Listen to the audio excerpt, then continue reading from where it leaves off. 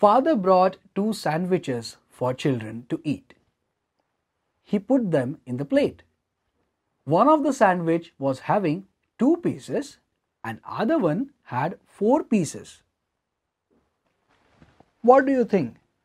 Has PJ really got more sandwiches? Let us find out. Just take a rectangular piece of paper. We will assume this as a sandwich. Okay? Now let's divide this paper sandwich into two equal pieces. That means two equal pieces when joined together will make one sandwich.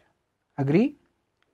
Now let us take another rectangular piece of paper of same size and divide it into four equal pieces just same as what PJ got in the above picture. That means four equal pieces when joined together will make one sandwich. So now what do you think? Has PJ got more sandwiches? Right. Both of them have got one sandwich. Then why did it happen that the girl felt that PJ had got 4 and she got only 2? Because she compared by the number of pieces.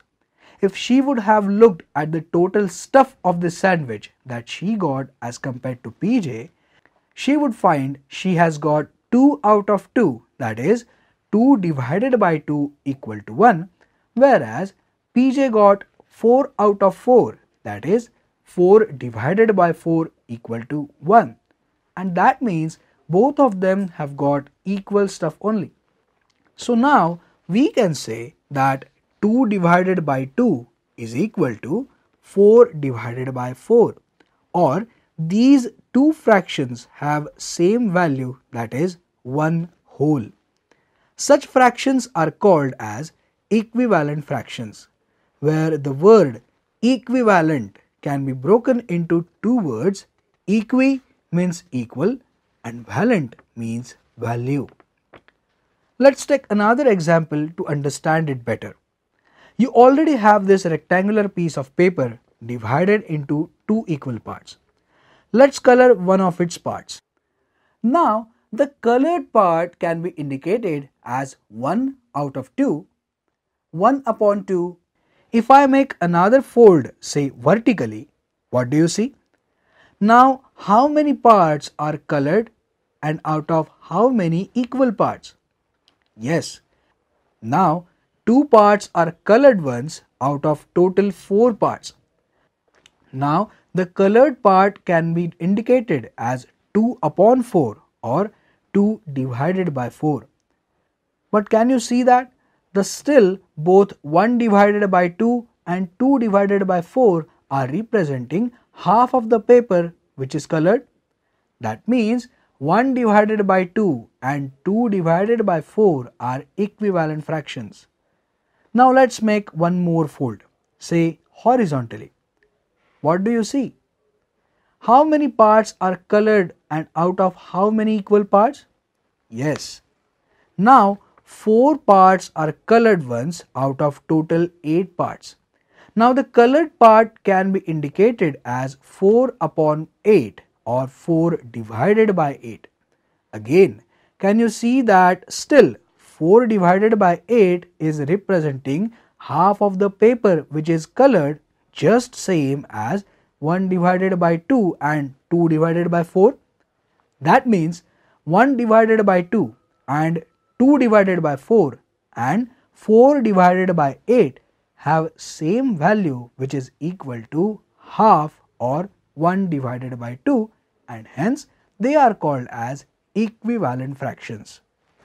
Let's go back and see how did we get 2 divided by 4 from 1 divided by 2.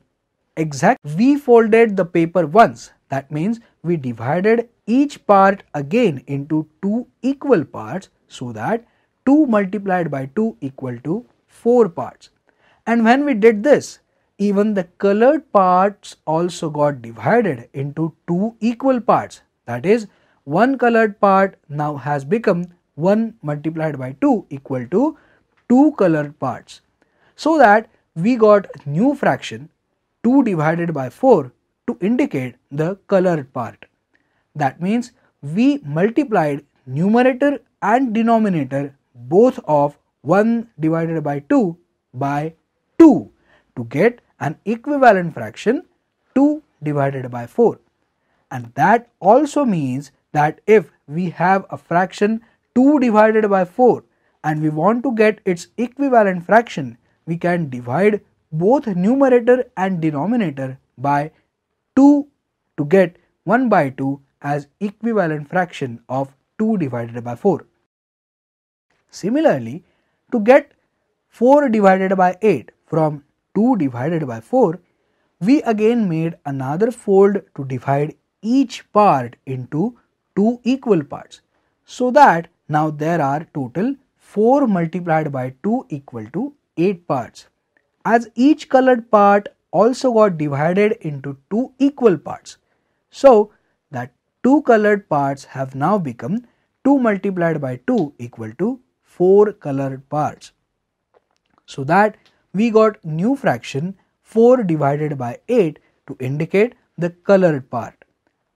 That means we multiplied numerator and denominator both of 2 and 4 by 2 to get an equivalent fraction 4 divided by 8 and that also means that if we have a fraction 4 divided by 8 and we want to get its equivalent fraction we can divide both numerator and denominator of 4 and 8 by 2 to get 2 divided by 4 as equivalent fraction of 4 divided by 8.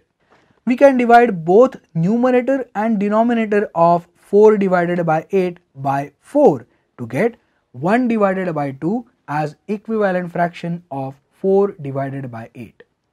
So that brings us the simple way of finding the equivalent fraction of a given fraction. Either multiply both numerator and denominator by same number or divide both numerator and denominator by same number. Let's quickly find equivalent fractions for 14 divided by 18. Let's first do it by multiplying both numerator and denominator by same number, say by 2. So we get the new fraction as 14 multiplied by 2 divided by 18 multiplied by 2 equal to 28 divided by 36, say by 3.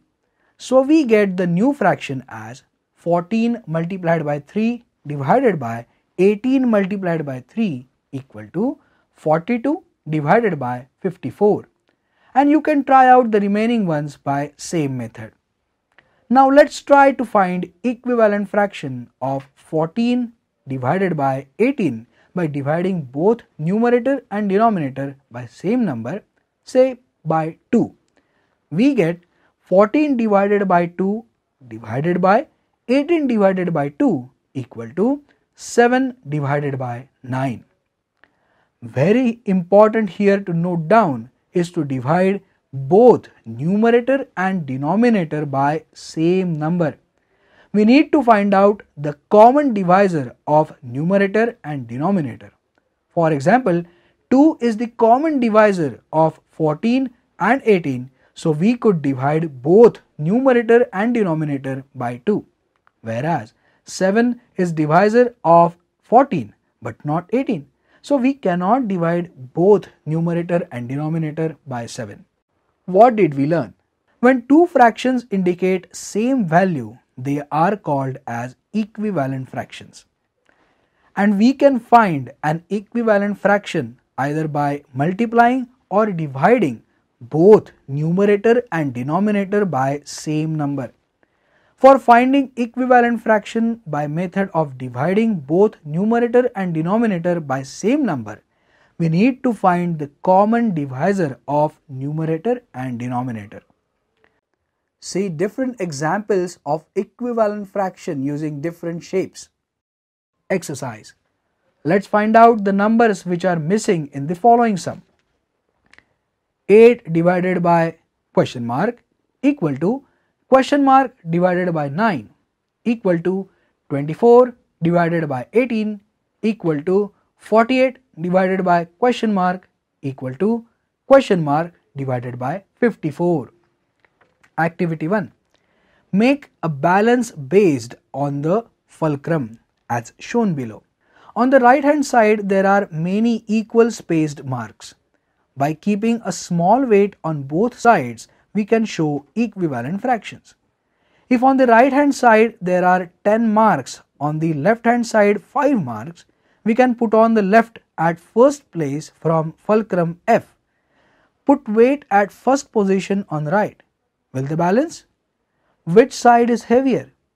Will it balance if we shift weight to second position on right side?